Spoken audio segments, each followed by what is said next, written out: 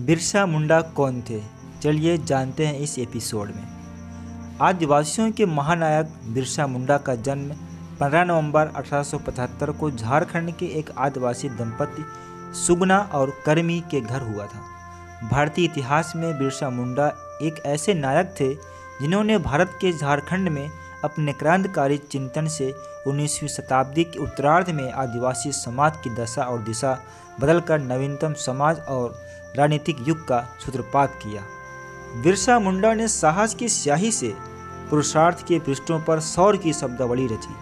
उन्होंने हिंदू धर्म और ईसाई धर्म का बारीकी से अध्ययन किया तथा इस निष्कर्ष पर पहुँचे कि आदिवासी समाज मिशनरियों से तो भ्रमित है ही।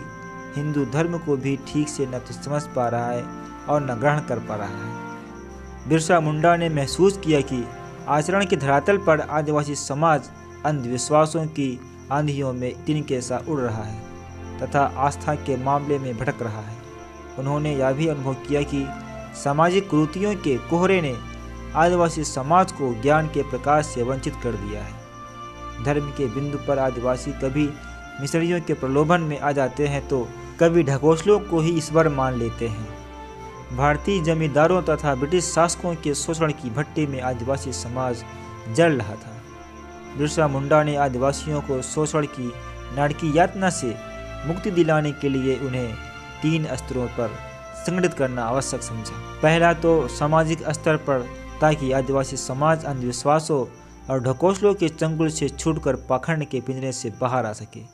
इसके लिए उन्होंने आदिवासियों को स्वच्छता का संस्कार सिखाया, शिक्षा का महत्व समझाया, सहयोग और सरकार का रास्ता दिखाया। सामाजिक स्तर पर आदिवासियों के इस जागरण से जमींदार और तत्कालीन ब्रिटिश शासन तो बौखलाए उठा। साथ ही साथ पाखंडी झाड़ फूक करने वालों की दुकानदारी भी ठप हो गई। यह सब बिरसा मुंडा के खिलाफ हो गए।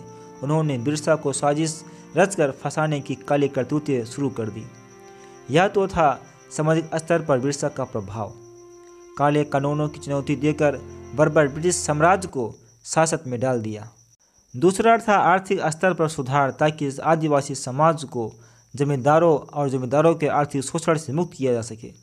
बिरसा मुंडा ने जब सामाजिक स्तर पर आदिवासी समाज में चेतना पैदा कर दी तो आर्थिक स्तर पर आज सारे आदिवासी शोषण के विरुद्ध स्वयं ही संगठित होने लगे। बिरसा मुंडा ने उनके नेतृत्व की कमान संभाली। आदिवासियों ने बगैर प्रथा के विरुद्ध ज़बरदस्त आंदोलन किया।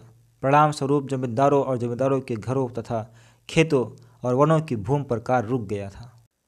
तीसरा था राजनीतिक स्तर पर आदिवासियों को संगठित करना।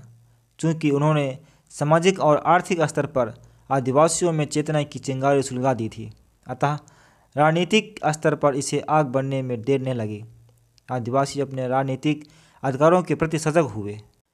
बिरसा मुंडा सही मायने में पराक्रम और सामाजिक जागरण के धरातल पर तत्कालिक युग के एकलव्य तथा स्वामी विवेकानंद थे। बिरसा मुंडा की गणना महान देशभक्तों में की जाती है। ब्रिटिश हुकूमत ने इस खतरे का संकेत समझकर ब्रिटिश मुंडा को गिरफ़्तार करके जेल में डाल दिया। वहाँ अंग्रेज़ों ने इन्हें धीमा जहर दिया, जिस कारण 9 जून उन्नीस सौ को ये शहीद हो गए। तो दोस्तों, ये थी बिरसा मुंडा की त्याग और उनका देश के प्रति योगदान। यदि आपको ये जीवन गाथा अच्छी लगी हो बिरसा मुंडा की तो वीडियो को लाइक, शेयर, कमेंट अवश्य कीजिएगा। यदि आप नए हैं, चैनल पर तो सब्सक्राइब करने के आने वाली हर वीडियो आता सबसे पहले पहुँचे, धन्यवाद।